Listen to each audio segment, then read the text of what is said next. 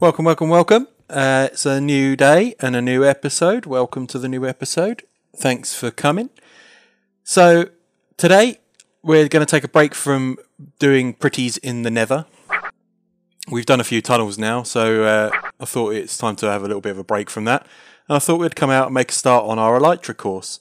Um, this is something that uh, me and Princess Lil built um, a couple of weeks ago now, and we never really got further than this. So there's Princess Lil. Hello. Hello. And uh, as you can see, I've made a bit of a hole.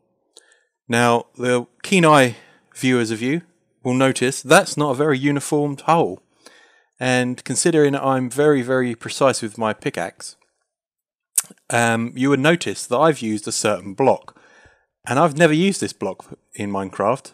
So I thought, TNT. Let's blow the world up. Let, us just destroy it. So, uh, so yeah, so we've got a, a bit of a hole. Kind of goes under and around slightly. Um, kind of curves a little bit there, and it kind of stops there at the moment. So it's a case of now just continuing on. Um, I'm pretty sure that with Princess Lil helping me, she will blow herself up several times doing this, but it'll be fun to watch. Now, what I should tell her is if she blows herself up, she may very well lose items. So try not to blow yourself up, eh? Um, I'm kind of sticking sea lanterns, and uh, could we get? No, we didn't. So yeah, I've I've tried that a couple of times now, and I just keep banging my head here. So I think we're going to have to move that out a bit. I think. Um, so what I'm doing here is I'm just chucking in some glazed terracotta and pointing you in the direction you got to go. Bit of sea lantern edge to keep it sort of illuminated, so we don't get um, mobs spawning down in here. Uh, this has got to be made just a little bit wider, I think. Here, um, it's just a little bit too narrow, uh, but it, it, it's coming along. It's a start. Um, I was going to make it all pretty and make it a cylindrical sort of flight course, but I think it's actually quite nice looking when it's kind of rough and ready and rugged, like I've just blown holes through the wall. It's pretty much what I've just about done. So I think I might just leave it rugged like this and just chuck in some um, some sort of terracotta and lights to show you which way you're going all the way through the course. So I'm going to start getting on, at least get this part of the tunnel done and flyable, and then we will come back and show you what we've got. Okay, a little bit's changed since you were here last. Um, I have made a bigger hole and I've extended it to come out of that hole. Um, and good timing for the rain, thank you very much. Um, yeah, so I've added some dispensers here and here so that when you come through, it kind of gives you a firework and a visual uh, representation of your start and finish times, um, basically. And I've made up a load of fireworks here and like so. Uh, so yeah, so let's let's go and have a little little look through our little hole here. Um, nothing too special. It is meant to be rugged. I need to put some more sea lanterns in down here as well. That reminds me, um, and one over here because it's dark over there too. Uh, so yeah, so you'll kind of come up out through that one there, and let's grab a pearl. Let's go over there somewhere. There we go. Right, so you'll come up out of that hole through this one, kind of U-y, back through this one, and then down through that one. And as you come down through that one, you will then go through that side of the mountain. Now, that is a tad tight at the moment. Um, it's only uh, a couple of blocks tall, so I do need to make that a bit bigger. Um, maybe by one more block. I can get it one out of nine attempts. Witsy was about the same. So I think we need to make that just one more bigger and a big arrow on the floor so that when you're coming down, you know where you're heading in. Um, I thought that that was probably the brightest thing I could put here. Um, but yeah, so you'd come down through there and then out through. And that's pretty much all I've got at the moment. Um, I'm sort of working on this and other projects as well. So it's uh, it's kind of a long going project, but it's fun. It's it's good, and it's uh, quite challenging. Really, really challenging to kind of get everything so that it's actually flyable. um, and not just oh wow that looks pretty cool, uh, but actually really not flyable at all. So yeah, that's uh, that's coming along. Um, when we get round to it, I am going to kind of make these into something. So Witsy had a good idea that this hole here is like a, a big fish or something that is uh, swallowing you up or something, you know, along them sort of lines. So that will be quite interesting to try and um, design and come out with. Uh, these, not so sure about what I'm going to do with them, but I spent ages crafting up banners for arrows. These ones are the no entries, but the banners for the arrows. And Wits comes along says, Yeah, I think you should number them. It's like, oh, okay, that's going to take me a while. I'll get on that. So now I'm going to have to go back to the crafting bench and craft up a load of numbers for these these hoops, which uh, is it. He's got a point. He he has got a point, but it's it's so frustrating that I'd spent all that time making those arrows, thinking, oh yeah, that'd be all right, that'd be good, and then actually didn't really think about the fact that they're going to need to know where they're going. But it went off quite well. Witsy um, was pretty good. He, he struggled a couple of times, so that shows me that the course is actually doable and is tough. So it's something that will need to be learned. This one I might make slightly bigger, um, simply because it was very tight for him to get through there. Uh, and I, I did find that as well. So I think I might make that one just a one block bigger, or even a half slab bigger. Um, maybe make these half slabs instead of full blocks. That might do it. Um, but yeah, so that's the uh, Elytra course update, and we are continuing with that. I've still got all of my resources on me, ready to go. And uh, yeah, so let's go off to the next little project that I want to do in this episode, and uh, I will see you when I get there. Our next project is this. I, I can't bear to see this rocket shop anymore. It it's uh, it upsets my happiness. Uh, I'm going to go as far as to say it upsets my happiness. It um, you know what? It, it's earned us a lot of diamonds.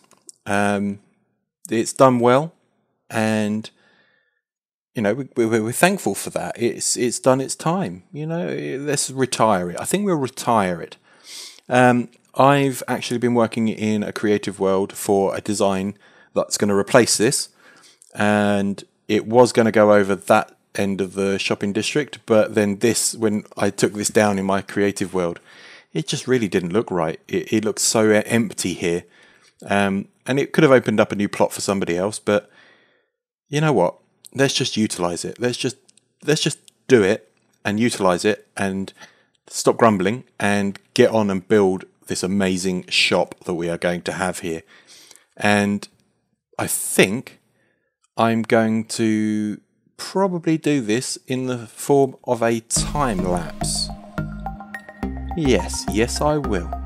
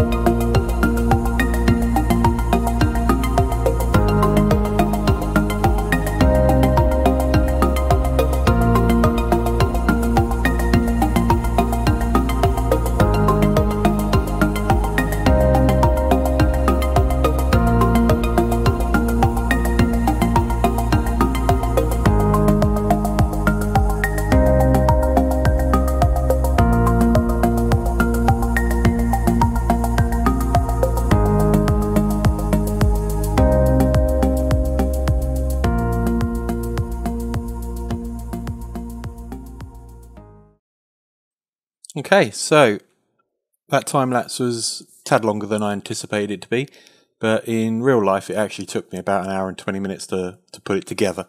Um, so yeah, I'm I'm happy with that. It looks like it did in my creative world. Um, I've done a few little tweaks, but it, in a sense, looks like a rocket. I'm really happy with that. Uh, we might have to go and put a book in Dim's Make Pretty service because, if I'm honest, I may have come out a little bit further than I anticipated. Um, but yeah, so there's our rocket. It's on its launch pad. It's got some uh, magma for the uh, the embers that have come from where it's taken off or landed or, or whatever.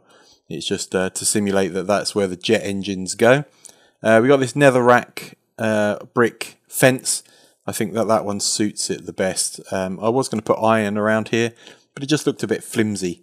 Um, so I decided to go with with the netherrack uh, fencing. So we got some coal here, just outlining the launch pad. Um, that goes all the way round and also around the back of that one as well.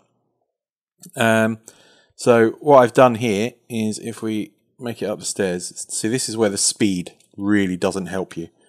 Um, so we get up to the top. I'm going to stick a chest here, and we're going to sell the actual fireworks. That pretty, oh, oh, kind of pretty. Um, so we're going to sell them here. We're going to probably be quite expensive for those because of what it takes to make them.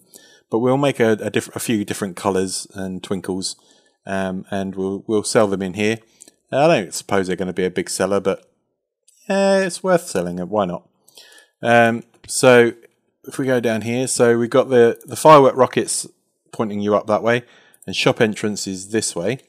So if we jump up the ladder and then in, this is our shop now. A lot smaller, um, easier to maintain. Uh, oh, I moved that. Oh, yeah, okay. So I moved that in. Yeah, that's fine. I just looked at that. I thought that's not right. Um, anyway, so we've got three banks of chests, and that is because we're going to have flight duration one, flight duration two, and flight duration three. Um, so let's let's uh, put some signs on these now. Uh, flight duration one. We're going to do what we're going to do. We're going to do four stacks equals one diamond.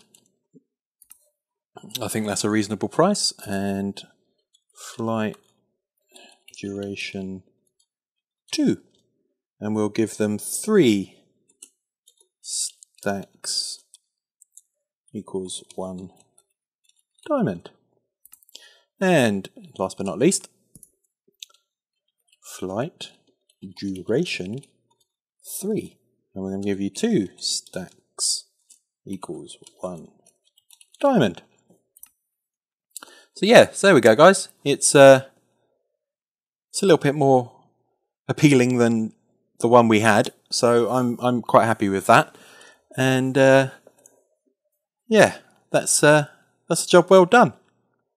Okay, so now the rocket shop is all done and looking pretty and beautiful over the shopping district.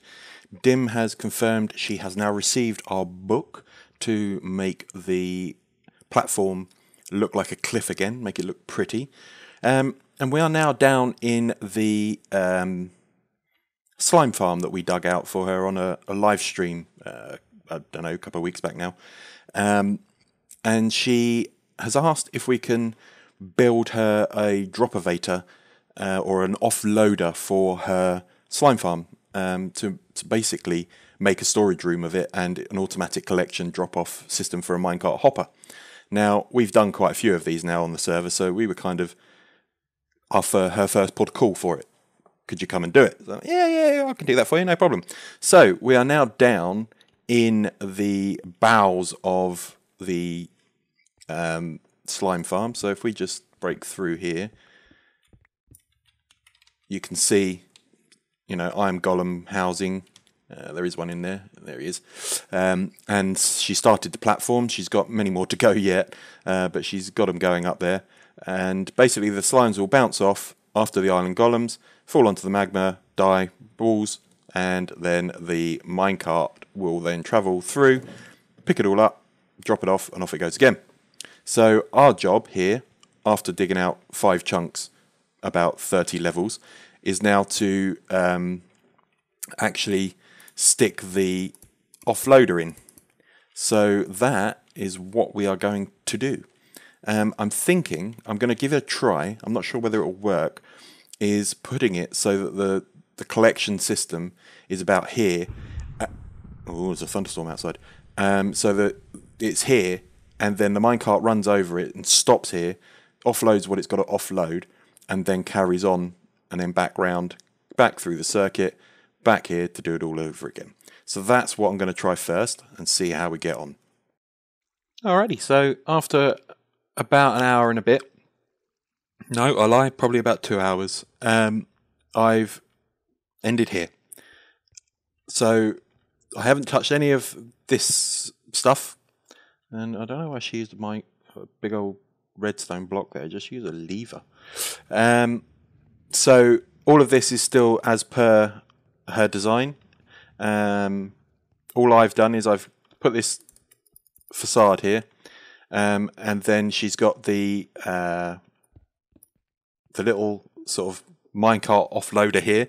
So just underneath this block is a comparator goes into a block under there, which has got a redstone torch, which is powering this block into this repeater. And when a minecart comes over here and uh, has items, it then unpowers this rail, keeps it there until it empties that hopper, and then powers this again, and off it goes. Um, and that just is continuous. And then behind here is a dropovator. Uh, this is into some glass which goes up um, through the glass and is on a timer, so it'll only spit out items as and when the items are in there. Um, then, then if we go up the stairs, this is where the dropovator comes out of. Um, it spits them out into here, into the water channel, over the ice, and then along into the hoppers. Now, the two bricks I've just broken will now be in the chest. So, oh, there's only one. Okay. Ah, where's the other one then? Ah, there is. So, that is that. And I said to her I was making it pretty in here, and I would have made it even more pretty with these chests being a wall as well. Um, but this has got loads of stuff in it. And if I'm honest, I can't be bothered to move all of that. Um, and she said it took her a very long time to to move it as well. So yeah, I'm not going to move that. I'm going to leave that for her to make it pretty in here. I will come back in a few days' time, maybe a week, and if it hasn't been made pretty, then I will probably end up just making it look pretty. Um, so all of these chests are linked to hoppers, which is fed by that water stream that's up there over the top of the hoppers. And as you can see, slime is slowly coming in. Um, this is just from when I've put the chests in, so not very long at all. And if I stand all the way at the back, it um, does kick off the farm. Like, you know, you stand here and every now and again you can hear go. So we know that it is working. It just means that now all of this is done. Uh, Dim needs to go in and put extra layers in and more iron golems, and then yeah, it's uh, it's a, a very good functioning farm for what we've got. Um, and now we've got more people on the server. She's gonna have more people demanding slime. So, hey, worth worth worth making it work, isn't it? Um, so I've just gone and chucked these sea lanterns in because, if I'm honest, I hate torch spam. Torch spam really upsets me. Really upsets my happiness. So I've just chucked in these sea lanterns, but that'll do. So there we go. Okay, so I've now completely finished this build. Um, I've just got to stock the rockets that are right at the top. I've now put some railings here because Witsy was uh, whining that he could fall off and break himself. Um, so we've chucked some railings in here. Um, if we run up here, it's a bit perilous, but it's fine. It's a rocket. Uh, so yeah, so we're going to charge for any 20 that we put in here. You can pick any 20 you like for five diamonds. Like I say, it's going to be a bit expensive, but um, the amount that's going to go into it is um, is worth the money. And then up in here, we now have stock of all of the different rockets. And uh, yeah, that's that job jobbed. Now all I need to do is go and get a book for Dim and ask her if she can make our cliff look a little bit better. Because it's looking a little bit sorry for itself. So let's uh, let's go grab a book. We've parked our rocket on the shopping district. Hope we didn't flatten anything. Could you please make our cliff on the outer edges look more pretty? You are good at that. That'll do, won't it? So let's chuck that in there. And Bob's your teapot. So that is that. So I think that is pretty much all we've got time for today. And uh, what a build we've done. That is pretty awesome. I am very, very happy with that. It looks so much better than what was there. And uh, it just, just looks a little bit more something, something, doesn't it? It, it just makes it. So I'll, uh, yeah, I will stand here and admire this for a little bit longer. And I will see you lot in the next episode. Thanks for coming. It's been a pleasure and an honour. And I will see you all in the next episode. Thanks for coming. Bye. Música